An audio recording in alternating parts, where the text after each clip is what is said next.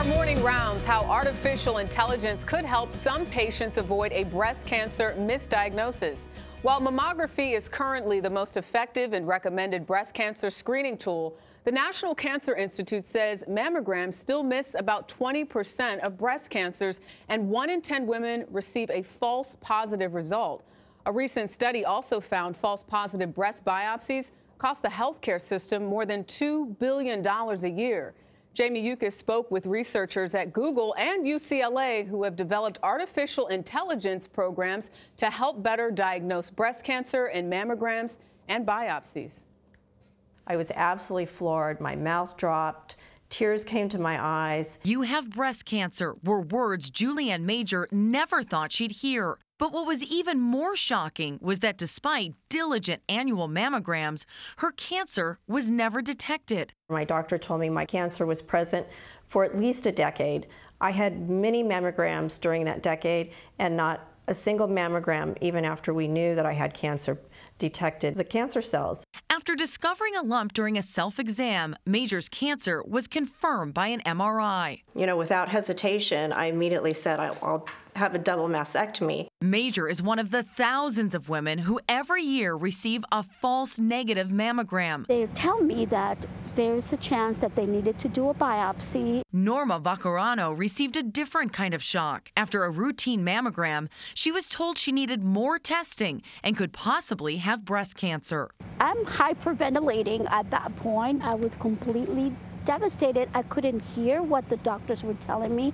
You just heard that you might have breast cancer and everything else went out the window. Went out the door. Vaccarano had to wait two weeks for her biopsy results. Thank you that it came out false. It turns out, like one in 10 women in the U.S., she had originally gotten a false positive result and, in fact, did not have cancer. When training the AI system, we fed it tens of thousands of example mammograms, just like this one. To combat misdiagnoses, Shravya Shetty and her team at Google developed an artificial intelligence system to assist doctors and pathologists to accurately detect cancer in mammograms. This was not something that we trained the system on.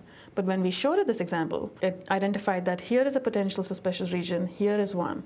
And it turns out that in this case, this was cancerous. Shetty says their AI model reduced false positives by almost 6% and false negatives by about 9% and caught suspicious tissues on mammograms missed by the human eye. Mammograms are the best studied. Dr. Joann Elmore, a professor of medicine at UCLA, is the brain behind an artificial intelligence program that helps correctly diagnose breast biopsies. Would it be a faster diagnosis? Or oh, yes. yeah, it would be much faster. Yes. The computer was trained to recognize patterns of 240 breast biopsy images. And while still in the testing phase, the system is yielding promising results. In one test, the AI program outperformed doctors by close to 20% better accuracy. Once a woman has a biopsy, the tissue is obtained, and this is an example of what the tissue can look like. I took the same exact glass slide of this and sent it to 27 different pathologists in the U.S. They independently interpreted it, and of the 27, only 13. Only 13 came back with the right diagnosis. Correct. That's a problem. It is a problem because we have such different recommendations for surveillance and treatment based upon that diagnosis. In the U.S., more than 42,000 people will die from breast cancer each year. It's a statistic that makes the promise of AI detection critical for patients like Major. I was told, and I believe, and I believe most women um, are told, the first line of defense is having a yearly mammogram. But the mammogram failed me. It failed me for a decade. For CBS This Morning, Jamie Yuccas, Los Angeles. Dr. Susan Drossman is an interventional radiologist in New York who is using similar type of uh, intelligence to help screen patients for breast cancer. First and foremost, doctor, mammograms are still the most effective way to detect breast cancer? Mammograms are still our gold standard.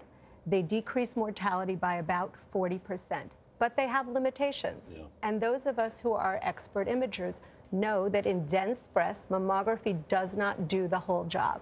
We need additional help. So ultrasound or MRI is often used, but the promise of AI for the future or a computer-assisted detection system will definitely help us boost accuracy. You're using a computer assisted We are system. using a computer assisted. How is it helping? It helps to draw the eye to particular regions. Mammography is very much pattern based. Mm-hmm. There are certain patterns that we look at, either an area of spiculation or calcifications, and those we know need to be biopsied. So, with an AI system, it is trained to look at patterns, and the more it's used, the better it learns. So, it draws your eye to that particular area.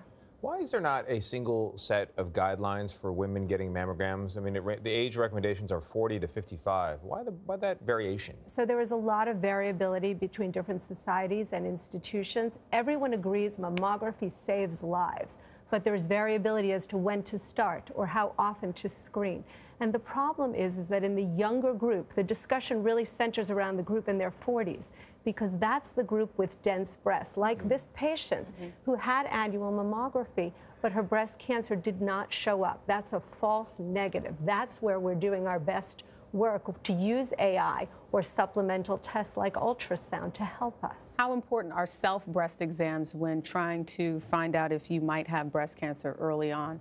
So I prefer not to call it self breast exams. I like to say breast self awareness mm-hmm. because knowing the texture, the density, the contour of the breast, your own personal breast, mm-hmm. is really helpful in being able to be your own advocates because between mammographies or when there is a dense breast with a false negative, if you could say, hey, I feel something, mm-hmm.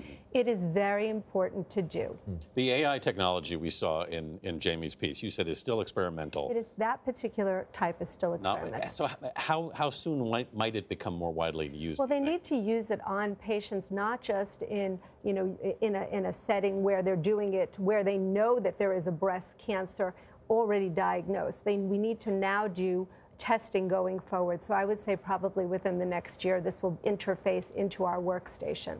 Do these same recommendations and, and procedures, would they apply to men who are also at lower risk but do have a risk of breast cancer? Would it apply to them as well? So male breast cancer is very unusual, accounting for less than 1% of all breast cancer. So men are not in a regular screening protocol. And when male breast cancers present, they present as a firm, non-tender lump uh, behind the nipple, and usually those are much more advanced. All right. Dr. Susan Drossman, thank you so much for being with us Thank this morning. Thank you so much.